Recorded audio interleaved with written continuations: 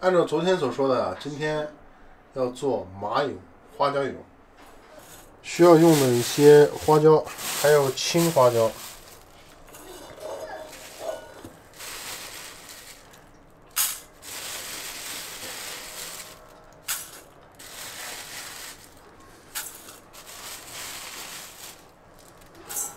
三比一的比例，然后把它拌匀。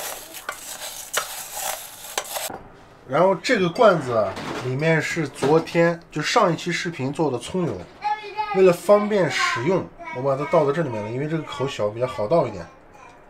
把葱油倒到这个花椒准备的这个花椒里面。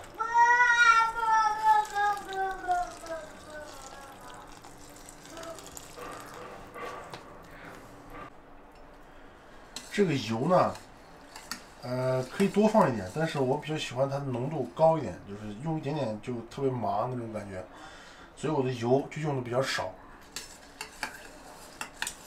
把这个油倒进来之后，浸泡个一二十分钟。这个泡好之后，花椒泡好之后，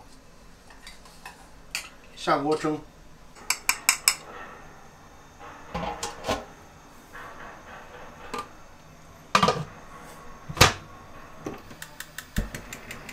蒸半个小时，蒸好之后，我们现在把花椒捞出来。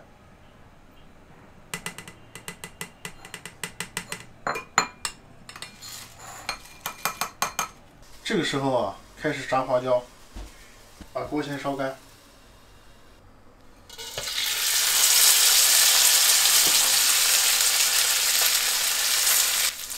这时候再把刚才蒸的。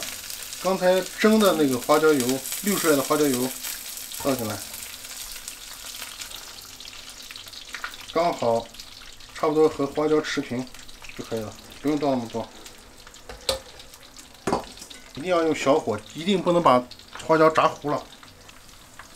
炸好之后，连油带花椒倒入刚才的那个这个油里。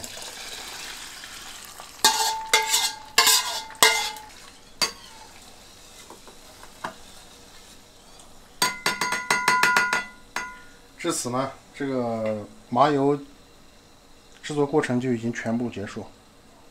最好找一个密封罐子装，因为家里面用的话可以用好久。呃，它时间长了会跑味儿，用密封罐子它就没有那么容易跑味儿。